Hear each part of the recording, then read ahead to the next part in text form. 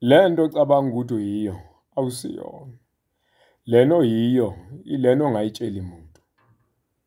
Futhi lena ongafuni ukuvuma ukuthi uyiyo kodwa empeleni siyakubona thina ukuthi uyini.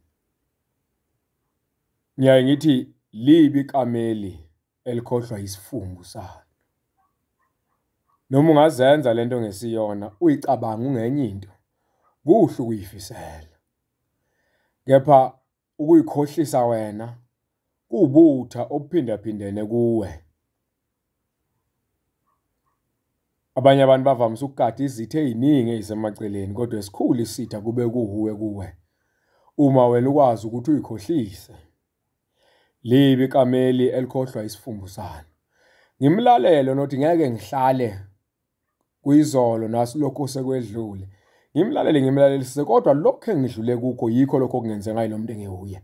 Lolu thule enginalo lifakazela ukuthi ngihambile entweni ethile, ngihambile endleleni ethile. Libi ikamela elikhohlwa isifumbu salo.